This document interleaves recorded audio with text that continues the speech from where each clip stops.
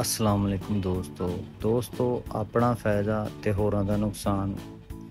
ਇਹ ਭਾਈ ਕਹਿ ਰਹੇ ਨੇ ਕਿ ਅਸੀਂ ਨਹੀਂ ਕਰਨਾ। ਤੇ ਇਹਨਾਂ ਦਾ ਕਹਿਣਾ ਇਹ ਆ ਕਿ ਅਸੀਂ ਇਸ ਮੋਟਰਸਾਈਕਲ ਦੀ ਹੈਡਲਾਈਟ ਤੇਜ਼ ਕਰਨੀ ਆ। ਲੇਕਿਨ ਅਸੀਂ ਇਹਨਾਂ ਨੂੰ ਕਿਹਾ ਭਾਈ ਤੇਜ਼ ਕਰਨ ਕਰਨਾ ਤਾਂ ਕੋਈ ਮਸਲਾ ਨਹੀਂ। ਇੱਕ ਇਹਦੇ ਚ LED ਲਾਈਟ ਲਾਓ ਤੇ ਹੈਡਲਾਈਟ ਤੇਜ਼ ਹੋ ਜਾਏਗੀ। ਲੇਕਿਨ ਇਹ ਭਾਈ ਕਹਿੰਦੇ, ਨਹੀਂ, ਸਾਡੀ ਇਹੀ ਲਾਈਟ ਜਿਹੜੀ ਆ ਜੈਨੂਨ ਇਹਨੂੰ ਹੀ ਤੇਜ਼ ਕਰੋ।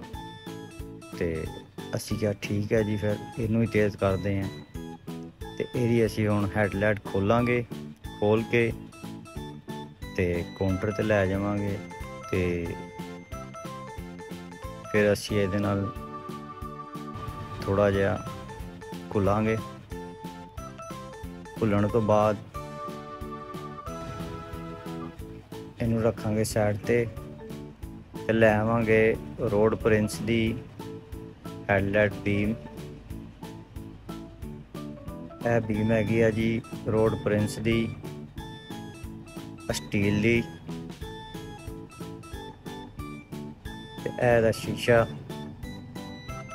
ਸ਼ੀਸ਼ਾ ਪਲਾਸਟਿਕ ਦਾ ਹੀ ਲਾਵਾਂਗੇ, ਕੱਚ ਦਾ ਨਹੀਂ ਲਾਵਾਂਗੇ।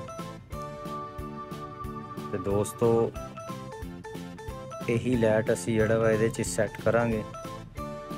ਰਿੰਗ ਦੇ ਵਿੱਚ ਸੈੱਟ ਕਰਕੇ, ਟੈਟ ਕਰਕੇ ਪੇਚ ਤੇ ਇਹਦਾ ਲੌਕ ਲਾ ਦੇਣਾ। ਉਸ ਤੋਂ ਬਾਅਦ ਅਸੀਂ ਲਾਵਾਂਗੇ ਇਹਦੇ ਚ ਕਾਰ ਵਾਲੀ ਇਹ ਟਿਊਬ ਇਹ ਵਾਲੀ।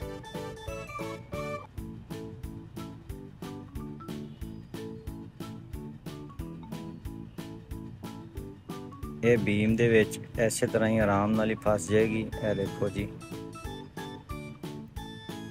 ਹੁਣ ਇਹਨੂੰ ਦੋ ਤਾਰਾਂ ਅਸੀਂ ਇੱਥੇ ਹੀ ਲਾ ਦੇਵਾਂਗੇ, ਲੇਕਿਨ ਜਿਹੜੀ ਅਰਥ ਵਾਲੀ ਤਾਰ ਆ, ਉਹ ਉਹਦੇ ਨਾਲ ਪਹਿਲੇ ਹੀ ਲੱਗੀ ਹੋਈ ਆ।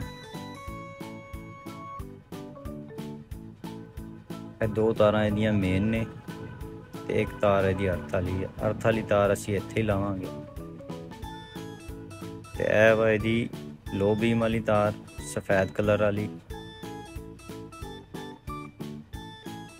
ਇੱਕ ਤਾਰ ਅਸੀਂ ਇਹਦੇ ਚ ਲਾ ਦੇਵਾਂਗੇ। ਬਲਕਿ ਇਹ ਲੋ ਬੀਮ ਵਾਲੀ ਆ।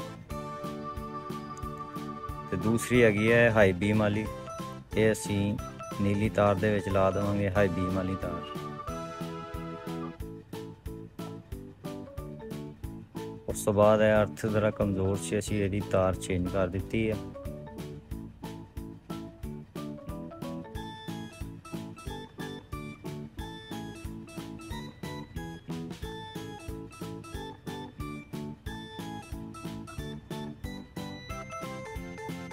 ਇਹਦੀਆਂ ਤਿੰਨੋਂ ਤਾਰਾਂ ਦੇ ਕਨੈਕਸ਼ਨ ਹੋ ਗਏ ਨੇ।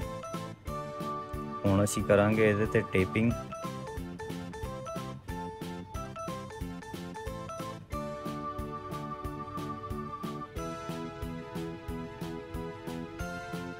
ਟੇਪਿੰਗ ਅੱਛੀ ਤਰ੍ਹਾਂ ਕਰਨ ਤੋਂ ਬਾਅਦ ਲੈਟ ਨੂੰ ਕਰਾਂਗੇ ਫਿੱਟ ਤੇ ਕਰਾਂਗੇ ਚੈੱਕ ਲੈਟ 'ਚ ਕੀ ਫ਼ਰਕ ਆਇਆ ਵਾ?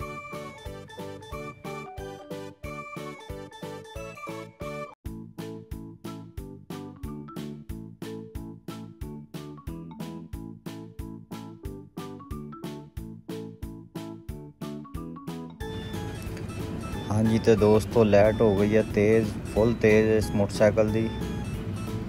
ਤੇ ਤੁਹਾਨੂੰ ਅਗਰ ਲੱਗੇ ਵੀ ਕਿਸੇ ਤੁਹਾਡੇ ਦੋਸਤ ਦੀ ਲੈਟ ਘੱਟ ਆ, ਤੇ ਤੁਸੀਂ ਉਹਨੂੰ ਇਹ ਵੀਡੀਓ ਸ਼ੇਅਰ ਕਰੋ ਤੇ ਲਾਈਕ ਕਰੋ।